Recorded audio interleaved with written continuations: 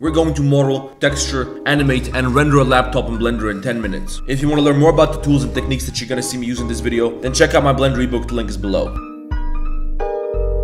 We're going to take the first two images from this Amazon page to serve us as background images. We need a higher resolution image with a keyboard, so I just searched for that on Google Images, and the second image over here is pretty good. I also needed some pictures of the various details around this laptop, but it was kind of hard to find those on Google. Luckily, every female has a MacBook, so I managed to get a whole bunch of close-up shots. In Blender, we're gonna go top view, shift A, image, reference, and I'm going to place my front reference and my top view reference in the backgrounds of the scene. Now let's start with the keyboard.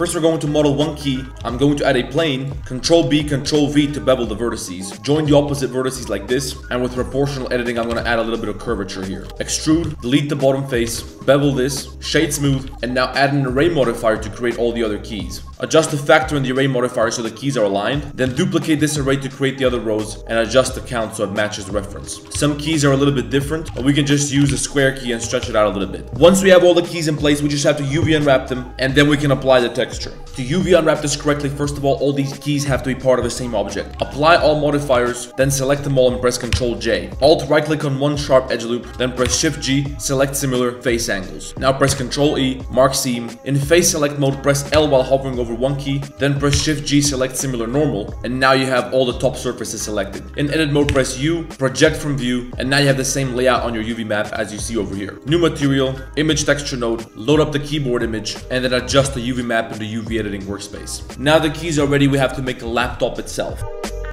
Shift A to add a new plane in the middle of the keyboard. Make this plane slightly wider and slightly longer than the keyboard. Add some loop cuts to turn this surface into only square tiles, then subdivide it a couple of times, and then use the geometry from the edges of this plane which we just created to create the frame for the laptop. Add some more loop cuts to turn everything into squares again. Select a corner like this, W, loop tools, relax, interpolation to linear, number of iterations 3, and do the same thing on all the corners to make them a bit more round. Extrude everything down, select the faces around the keyboard, inset with I, and again use your loop tools relax to make this corner round. Move this out of the way, and now extrude this surface down a little bit to make this lowered area where the keys are fitted into. Give me a tiny bevel over here, and we're going to use this geometry on the sides to create these ports for whatever that is. Why don't they just use regular USB ports like everybody else? I know they're just trying to take your money, aren't they? To create one of these ports, we're going to select nine little faces like this, inset them, delete the faces in the middle, push these two edges apart, and when we subdivide this, it's gonna start to look the way we want it to look. We gotta bevel these corners, and I want another hole over here, so I'll delete these faces. 3D cursor over here. 3D cursor is a pivot point. Then Shift D, right click, and scale this to minus one on the Y axis. Merge vertices by distance, correct to normals. And now we got two portholes which we can extrude inwards. Duplicate these faces, lift them up a little bit, push them backwards, extrude them up a little bit. Add a loop cut to each of these. Bevel that loop cut. Add another loop cut, and another loop cut like this. Bevel this, and now when we subdivide everything, it's gonna look perfect. It might be wise to get rid of this bevel over here because we still have some details that we have to add to the body of the laptop. So select the edge loops that go all the way around, press Ctrl plus, then in vertex select mode, deselect these edge loops on the corners, and press X dissolve edges. You might have to select some of these vertices and slide them down and merge by distance. In the middle of the laptop, select a surface like this, then inset it with I, bring the geometry close together, delete this surface in the middle,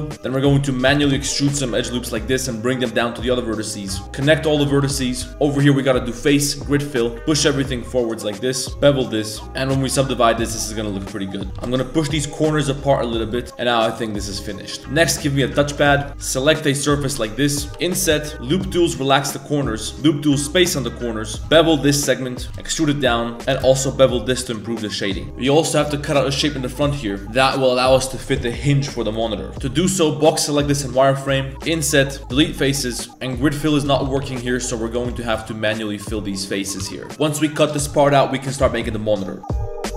To make the monitor, we gotta select these corners, shift D, right click, lift them up a little bit and separate them to a new object. Connect the vertices between the corners, add some more loop cuts to these new edges, then go face, grid fill, and then just adjust these figures to get a nice fill here. In this case, 23 and minus 18 works for me. Lower this down to the surface, extrude it up to give it some thickness, elevate the inner surface to make this a little bit more round. Now select all the sharp angles, control B to bevel them, and to make the hinge for simplicity's sake, we're just going to use a cube, scale that shit down, scale it up on the x-axis x-axis, bunch of loop cuts like this, bevel everything, and then subdivide it. Parent the monitor to the hinge, and now we can use the hinge to open this up. Select the surface in the middle, inset, relax the corners, then let's just inset this and extrude it backwards a little bit. Inset one more time, and now we can use this surface to make the monitor. Now the modeling is finished, let's add some simple materials. Let's go back to Google and get a screensaver. I'll take this one over here, and the resolution is kind of shitty, so I'm gonna go over here to upscale media, upload image, and then I'm gonna increase the resolution and sharpness of my image to make it look a bit nicer. Once it's done processing, go to download, and in the shading workspace, let's create a new material for the screen. We're going to name that screen saver, load up the image, we're going to mark a seam around the screen. With L, we're going to select the screen, U, unwrap, and we're going to adjust the UV map in the UV editing workspace. Turns out that this edge is supposed to be a lot thinner, so we're going to get rid of some of these edge loops and then scale this monitor up to bring it as close as possible to the sides. Now we need a new material for the frame of the screen, so use this plus button to create a new material slot, assign that to the frame, new material, we're gonna make that black, and for the screen itself, we're going to reduce the roughness to almost zero because that's supposed to be nice and shiny. The worst thing that can ever happen to you is when you have one of those matte screens, and if you're in anything other than a cave, you won't be able to see shit on the screen. I don't know why they do that, just give me a glossy monitor. Apply this same black material to the body of the computer. We're gonna make this metallic because I think that looks way cooler. And I think it would be cool if we make a separate material for the touchpad. So let's make that gray slightly lighter than the surface of the laptop. And I also don't want it to be as reflective. Turns out the keys look way better if they're metallic. And sometimes your materials and your colors might look kind of shitty. But if you change your HDRI up here in the material preview, they look a lot better with a different HDRI. I'm going to go over to Paint.NET to design a little logo so I don't get sued. I'm gonna try to find a font that makes this look halfway decent. And then instead of an apple, we're going to use something like this as our logo. We're going to make this completely black, cut out a little hole over here, put this over a gray background, and this is going to act as a roughness map, which we're going to place at the back of the screen. So on the monitor frame, I'm going to select a little surface in the front like this, U, unwrap, and we're going to load up the logo in this material. Now in the UV editing workspace, we can adjust the UV map of only this little segment over here so that we fit the text onto this area. Now we got a text logo. On the back of this laptop, we're gonna select a surface like this. U unwrap, give me another image texture node. Let's get the crack pipe, non-color, plug that into roughness, and it looks like this has to be a separate material. So let's just duplicate this, remove the text from this material, and now we can place this on the back of our laptop. I think that looks wonderful. Now the textures are ready, let's make a quick animation and render this.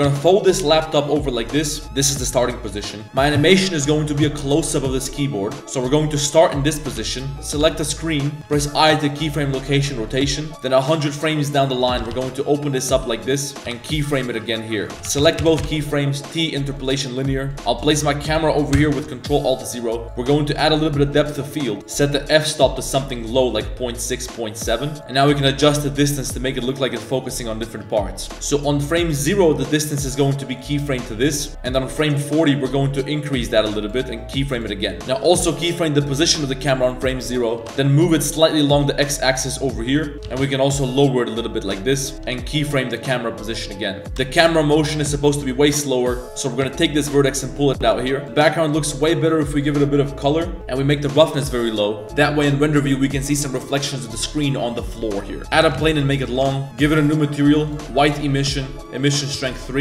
lift it up, array modifier like this, and we're going to animate the lights so they start down here and they move over here somewhere. To do that, give me an empty, parent the lights to the empty, keyframe the empty in this position, then on keyframe 100, rotate it like this, and keyframe it again. Now, since I'm rendering this in cycle, it's gonna take about three days to get a final product. I'm gonna tweak this a little bit more. If you wanna see it, comment down below and I'm gonna put it on Instagram. And let's see what Derek Elliott has to say about this. Like the video, subscribe to the channel, check out the fucking ebook, let me know what you wanna see next, and I'll see you in the next one.